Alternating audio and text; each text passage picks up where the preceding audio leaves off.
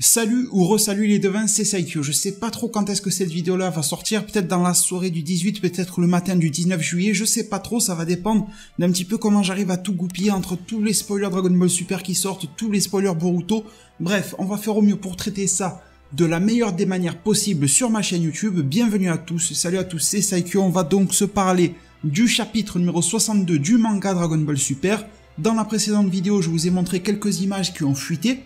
Grosso modo, on y voyait Goku en train de se faire littéralement défoncer par Moro. Je commence cette vidéo là en vous montrant cette petite image là qui a fuité en plus. On y voit la chute totale de Son Goku face à Moro. Il est carrément appuyé sur son, la tête sur son genou, etc. Goku, il faut le dire, est misérable face à Goku. Mais bon, il a tout donné, hein. qu'est-ce que vous voulez qu'on y fasse? Là, c'est clairement un autre ton que le tournoi du pouvoir, une autre atmosphère, une autre ambiance. Hormis cette image que je vous propose, le but de cette vidéo-là est non pas de vous bourriner la tête d'image, mais de vous proposer un petit, bref, résumé du chapitre. Vous n'allez pas avoir tous les détails, vous n'allez pas savoir comment est-ce que tel personnage se place, etc. On n'est pas sur le résumé extravagant, mais sur un résumé du chapitre numéro 62 qui va droit au but.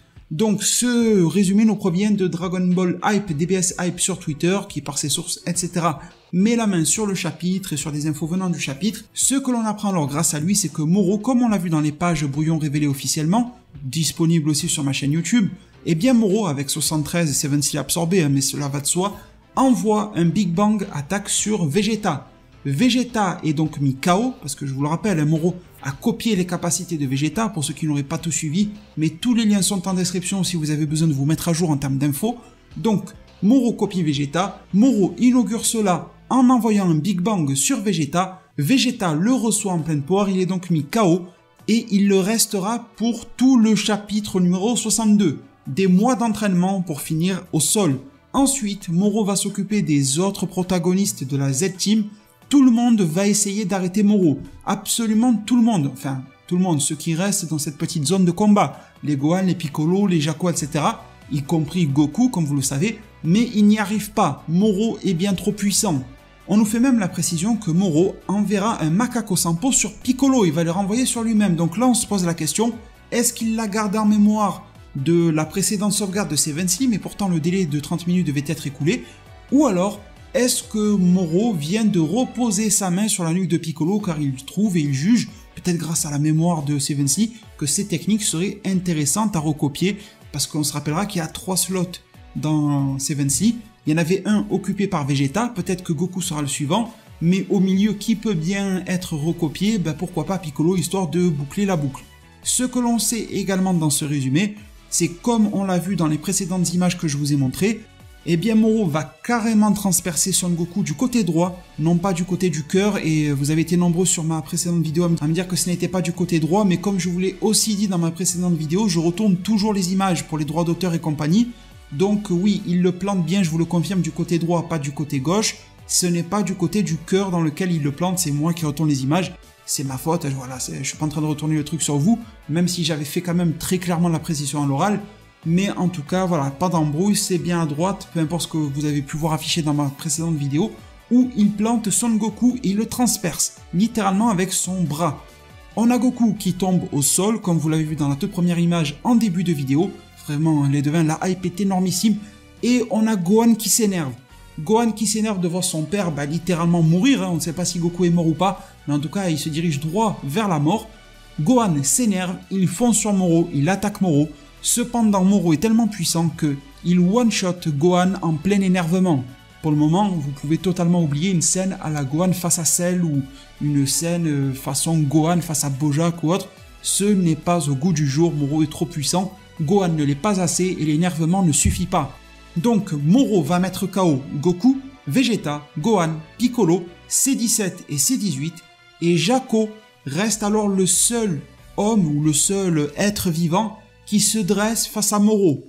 Le duel, si je peux le dire ainsi, ça me rappelle un petit peu Monaka, est en train de se dresser. Jaco va faire ce qu'il peut. Malgré tout, il fera preuve de bravoure et va essayer de se battre contre Moro, surtout à l'aide de son pistolet de patrouilleur galactique. Et là, énormissime spoiler pour clôturer ce résumé, Jaco va être sauvé par quelqu'un. Jaco va être sauvé soit par Virus, soit par Merus. C'était les deux prétendants pour ce job-là. C'est vrai que j'avais ma petite préférence, ma grosse préférence pour Beerus, ça je ne le cache pas, mais finalement ça ne sera pas, en tout cas pas dans le chapitre 62, Beerus qui interviendra, ça sera Merus. Merus arrive sur le champ de bataille, il va sauver un petit peu les meubles, et Merus arrive dans sa tenue de patrouilleur galactique en toute fin du chapitre avec le teasing pour le chapitre 63. Donc pas de Beerus dans le chapitre 62, j'ai envie de dire que Merus était collé à Whis et à Beerus dans les précédents chapitres, donc je pense qu'ils vont pas tarder à le suivre. Ou alors, une autre de mes théories prédictions pourrait se réaliser. Je vous avais dit que pourquoi pas, si Merus tenait à tout prix à ne pas servir les anges tel qu'il le fallait, et pour éviter de devenir un traître, d'agir et d'ensuite se faire tuer par le Daishinkan, peut-être qu'il pourrait être, si je peux le dire ainsi, converti en tant que mortel.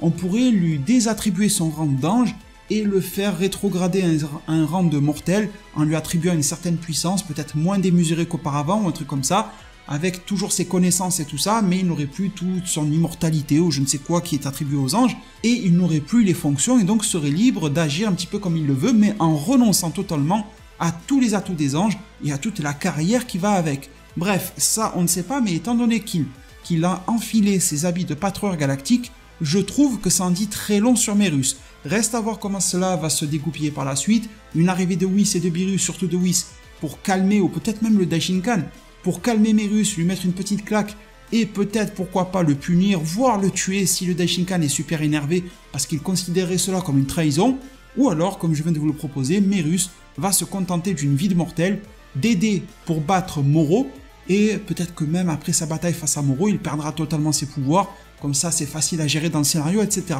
Bref, cette dernière partie de réflexion sur Merus n'était bien évidemment que mes suppositions. Ce que vous devez savoir, c'est qu'en toute fin de chapitre, Jaco se dresse seul face à Moro, il fait ce qu'il peut au combat, Merus arrive sur le champ de bataille avec ses vêtements de patrouilleur galactique et non ceux de d'ange, et c'est la fin du chapitre. Ensuite, libre à vous d'ailleurs en zone commentaire de venir me faire parvenir toutes vos idées, toutes vos prédictions, et de laisser libre cours à votre créativité. Est-ce que vous arrivez à intégrer le cas de, de Birus et de Whis? Est-ce que comment est-ce que vous justifiez justement cette intervention de Mirus Sous quel aspect? Peut-être que vous allez penser à d'autres aspects que celui que je vous ai proposé moi-même.